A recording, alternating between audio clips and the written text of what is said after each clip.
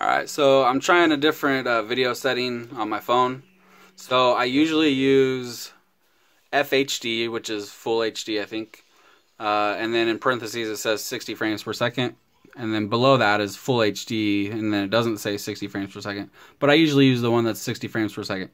And then right above that, which I guess is a higher, is uh, UHF. UHF? Yeah. And then above that is QHF. So I'm thinking QHF is the highest quality. So that's what I'm using right now.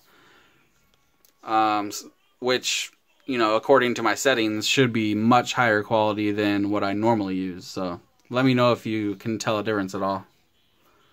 Um, so this is for Maxwell. I have your Talon here. And it's all finished up. It's badass. Uh, I wish I could fly it, but unfortunately I don't have a Spektrum radio anymore. Um, I really like these end caps here that go over the arm, the ends of the arms. Pretty awesome. Because um, before they were just completely exposed, you know, and of course in a crash, these, those are going to get all dinged up, and who knows if they would even snap off too, because you know it's just a little piece of carbon right here. But it seems pretty tough, and it's really nice to have that TPU over it. And of course, you're uh, dampening the vibrations from the screws as well. Uh, you got your F40 version 3s on here. They're uh, 2600 kV.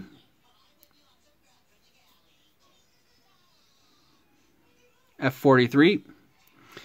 Uh, you got your DYS stack in here with the F4 Pro V2 and the 30 amp 4 in 1.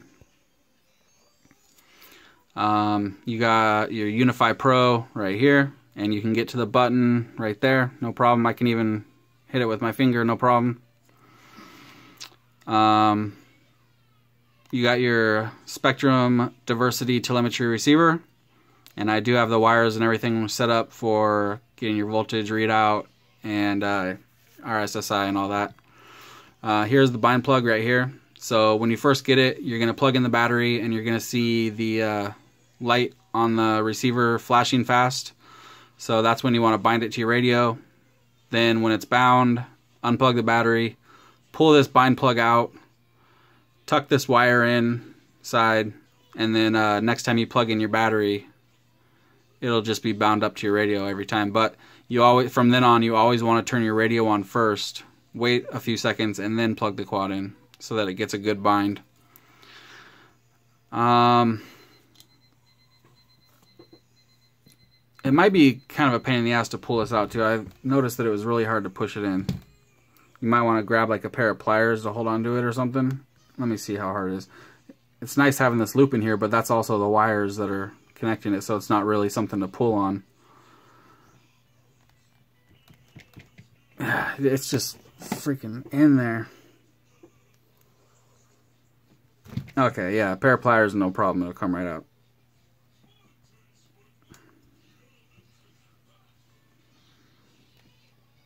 Okay, cool. So, uh, oh, and the uh, Eagle 2.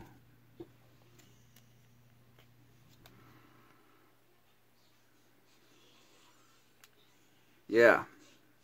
Awesome camera. Um, let me make sure the video is working. I don't think I've checked that.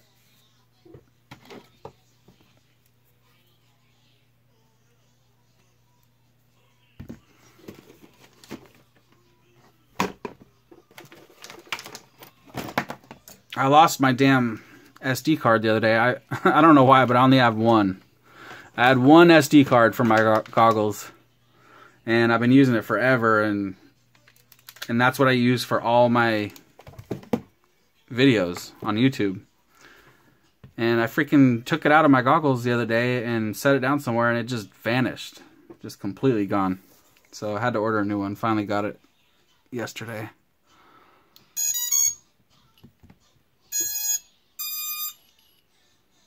Okay. So right now it is on, looks like F7. And all the OSD stuff's on, so you can set that up however you like it. But you can see there's tons of stuff all over the screen. Video looks excellent. And again, that's F7 that it's on. 91%. Alright, so there's a couple other things to show you.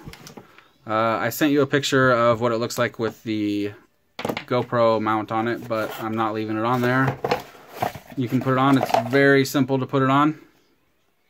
And here it is. And this is the newer version of the old one that I used to, that I've seen. Uh, it has ratcheting in here, so you can set it to whatever angle you want. If you push it real hard, you can set it to any angle, which is pretty awesome. And it stays. It'll stay. It's in there real tight.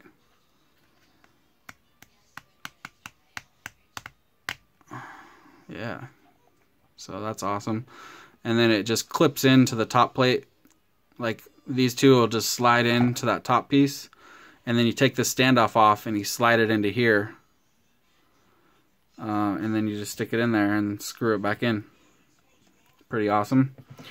And then you also have the uh, manual for the receiver. Pretty thick manual. Uh, you got your manual for the ESCs and I'll get the one for the flight controller too. You got a spare bracket and back plate for the Eagle 2. You got the uh, controller for the camera. Battery strap, some stickers. Uh, this was from the foreign one, I think. And then you got these two that you can uh, stick on here. Braces for the side. Goes on like that if you want them on there. And then you asked me if you could have some stickers, so I'm giving you some stickers. Here's a bag full of them, probably over a hundred in there. I got a lot of stickers, so don't mind giving them away.